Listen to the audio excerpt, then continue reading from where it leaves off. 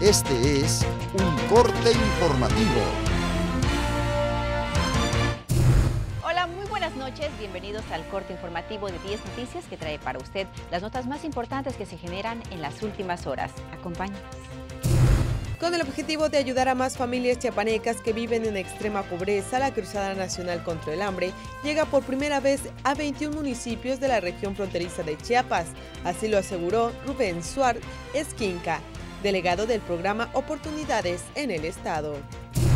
A partir de este mes, el Infonavit tendrá nuevas reglas para la adquisición de viviendas. Esto beneficiará a los trabajadores, ya que ahora los créditos se otorgarán en pesos y no en salarios mínimos, como se hacía anteriormente.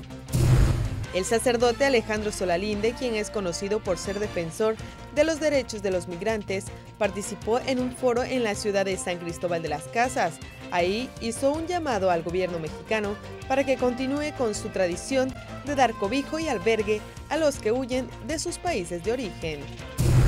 Debido a las condiciones en las que viajan los migrantes centroamericanos que pasan por la costa chiapaneca, son los que más han resentido las altas temperaturas que se han registrado en esta temporada.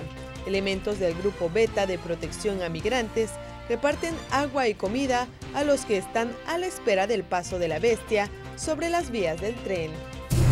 En Tuxtla Gutiérrez dio inicio el programa Yetatón, que consiste en la recolección de neumáticos abandonados y que son el principal criadero de mosquitos transmisores del dengue. Para su recolección se han instalado varios centros de captación en toda la ciudad. Bajo la supervisión técnica de la Comisión Federal de Electricidad, los trabajos de cableado subterráneo en el centro de la ciudad de Tuxtla Gutiérrez ya llevan un avance considerable. Con esta obra, la zona centro de la capital chiapaneca lucirá sin cables y con menos riesgos.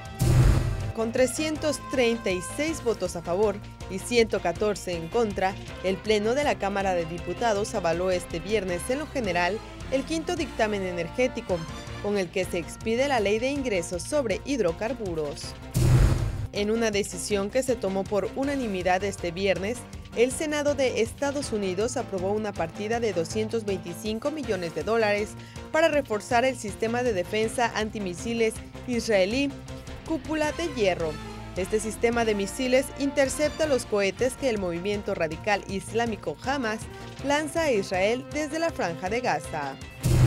Una de las opciones que tienen los turistas para visitar en estas vacaciones es el Museo de la Ciudad.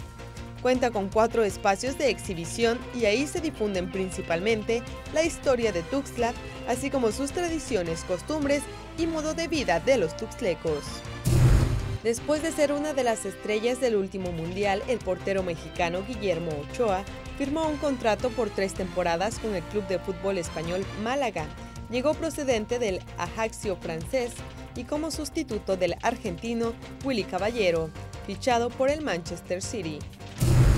Gracias por la atención prestada a este espacio informativo. Lo invitamos para que nos siga en las redes sociales. En Facebook, búsquenos como Diagonal 10 Noticias y Twitter, arroba 10 Noticias. Muy buenas noches y lo invitamos a que continúe con nuestra programación. Este fue un corte informativo